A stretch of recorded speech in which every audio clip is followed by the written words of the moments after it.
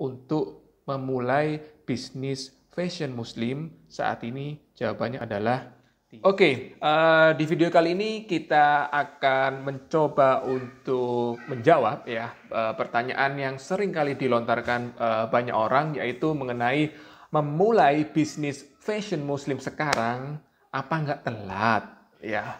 Oke, okay, uh, kita akan jawab dengan uh, data tentunya ya. Uh, kenapa dengan data ya? Karena uh, kami mengutip salah satu quotes ya atau kutipan dari Edward Deming ya. Uh, beliau adalah salah satu tokoh pembaharu Jepang ya, walaupun bukan orang Jepang tapi beliau tokoh pembaharu Jepang. Nah, silahkan googling sendiri.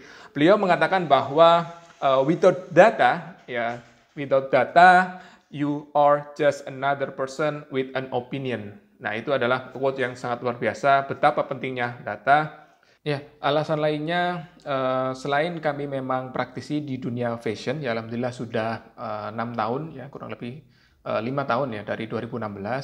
Uh, kami juga sebagai akademisi di dunia ini di dunia fashion muslim, alhamdulillah di tahun lalu mendapatkan gelar master ya atau S2 di ekonomi Islam dengan fokus penelitian atau riset di uh, fashion muslim. Ya, itu adalah salah satu uh, motivasi atau why uh, kenapa uh, kita juga sebagai konsultan di uh, bisnis uh, fashion muslim. Oke, okay, uh, langsung saja kita akan sajikan kisi-kisi jawabannya. Ya, jadi sebelum menjawab uh, pertanyaan di video ini, uh, kami akan memberikan kisi-kisi jawaban. Jadi kita akan menjawab bersama-sama atau bareng-bareng. Oke. Okay? Ya, uh, untuk kisi-kisi pertama, ternyata data pertama ini uh, salah satu penelitian dari Pew Research Center ya bahwa ya Islam ya agama Islam akan diproyeksikan menjadi agama dengan pengikut terbanyak dunia ya mengalahkan Nasrani. Itu di uh, beberapa tahun ke depan ya. Sekarang kan nomor satu kan Nasrani ya. Jadi menurut riset ini ya dengan pertumbuhan atau akselerasi ya, umat Islam dengan uh, banyak, maka dari itu di beberapa tahun mendatang umat Islam atau agama Islam akan menjadi agama terbesar dunia secara kuantitas ya secara kuantitas uh, menjadi nomor satu di dunia sangat banyak sekali.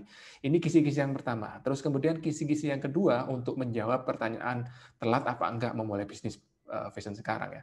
Kisi-kisi yang kedua kita lihat ya ternyata ya ini source-nya atau reference-nya yaitu dari uh, State of Global Islamic Economy Report tahun 2017-2018 ya. Di sini ada uh, data Global Islamic Economy atau data ekonomi Islam dunia. Nah, di sini ya ternyata salah satu ya dari berbagai kategori di ekonomi Islam atau di bisnis Islam itu modest fashion atau fashion muslim itu salah satu yang tertinggi ya modus muslim itu adalah salah satu ekonomi atau bisnis Islam yang tertinggi eh, untuk eh, secara growth-nya atau secara omsetnya. Nah, itu luar biasa. Ini kisi-kisi yang kedua. Kisi-kisi yang ketiga, nah ini eh, sumbernya atau source-nya yaitu dari IFDC, yaitu Islamic Fashion Design Council, ya mengenai pertumbuhan fashion halal dunia. Ya ini untuk khusus fashion ya, karena lembaganya adalah lembaga Islamic Fashion. Ya, di sini kita melihat ya growth-nya dari tahun 2017-2018 ya growth-nya saja ya. Ini growth-nya itu kurang lebih 7 sampai 8 persen year on year atau tahun ke tahun ya. Ini sungguh luar biasa ya growth-nya luar biasa. Nah kemudian ini ini untuk yang kisi-kisi yang nomor tiga ya kisi nomor dan kisi-kisi yang keempat atau terakhir ya kita melihat dari uh, dalam negeri kita yaitu data dari Kementerian Perindustrian ya. Ini uh, tahun 2019 ya di akhir uh, kabinet yang pertama yaitu Presiden Jokowi yang pertama bahwa ya pemerintah berjanji akan mendukung penuh ya dengan mendukung penuh fashion muslim dan juga menjadikan Republik Indonesia menjadi kiblat fashion muslim dunia. Ini luar biasa. Ini luar biasa. Jadi pemerintah sudah melihat potensi bahwa Indonesia dengan eh, jumlah total umat muslim terbanyak di dunia ya kita tahu bahwa penduduk uh, total penduduk di Indonesia itu ada 270 juta ya di sensus BPS terakhir dan ternyata 87 persen dari 270 juta itu adalah umat Islam ya berarti ada sekitar 200 hampir 230 ya hampir 230 juta orang Islam di Indonesia. Uh, jadi itulah eh, kisi-kisi uh, jawaban dari pertanyaan video ini ya. Apakah uh, telat apa enggak ketika kita memulai bisnis fashion muslim sekarang? Ya, teman-teman mungkin bisa uh, menyimpulkan sendiri atau uh, oke okay, kita bantu jawab.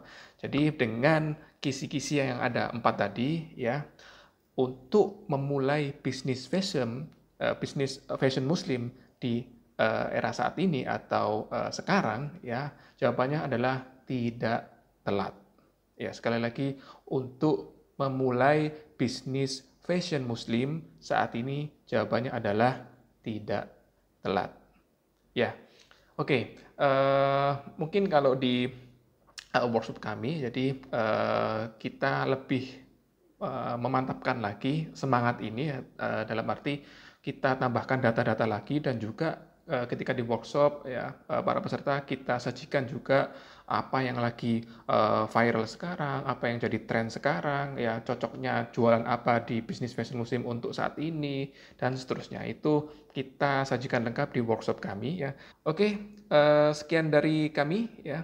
Semoga bermanfaat dan juga jangan lupa karena channel ini masih baru silahkan subscribe dan juga share sebanyak mungkin ke teman-teman Anda atau keluarga uh, Anda atau uh, ya kolega-kolega teman-teman yang ingin memulai bisnis fashion muslim uh, sekarang apalagi di uh, era pandemi seperti saat ini. Oke, uh, saya tutup ya wallahu a'lam bishawab. Akhirul kalam. Assalamualaikum warahmatullahi wabarakatuh.